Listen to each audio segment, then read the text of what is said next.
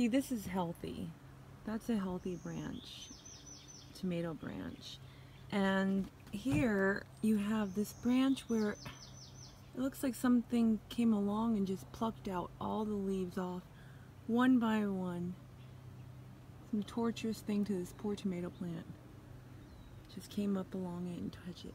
So another way to spot it is if you look over here, um, you'll see all these little black dots and specks. Some of them get pretty big.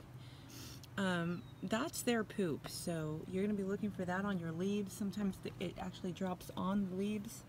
You'll see little black dots around them. And just kind of follow where you see the leaves eaten, like this. So actually I would just follow these up. But if you can see here, look what it's done. All the leaves here have been eaten off.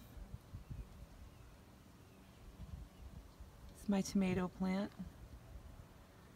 And he really could camouflage. It was really hard to spot him for a second. It just kind of appeared to me that this tomato hornworm is right here.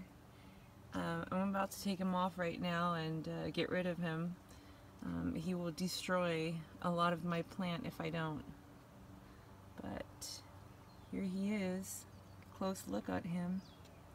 And how, if you're not paying attention, how he could totally camouflage himself in there.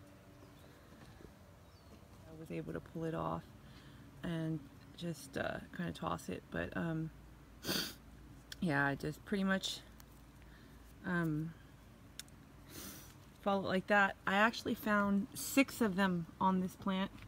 So you definitely want to go through it thoroughly as you can to get them all off. They can do a lot of destruction to your tomato plant.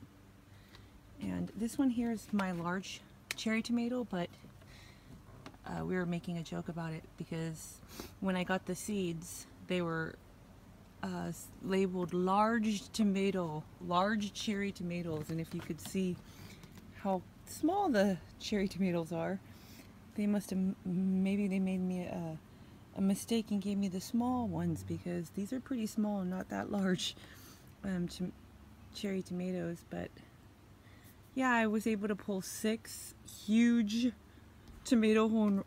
There's another one right there. I almost missed it. Right there. You see that? Actually scared me.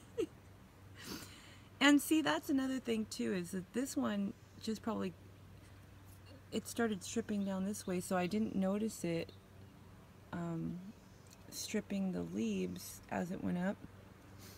But, um, that one's getting a head start on this one. But as you can see, and this is number seven, I, I actually went through this thoroughly thinking that I had gotten all, and if you could see how, how well blended that is, I mean, it is really hard to see. You have to really be looking, and even when you're looking, you could miss it. Um,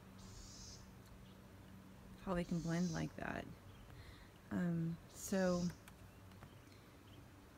see this little mouth moving, getting ready to eat my stuff.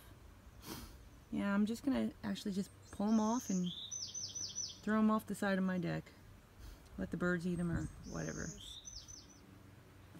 Just gonna throw them off the side of the deck. It's pretty deep down there.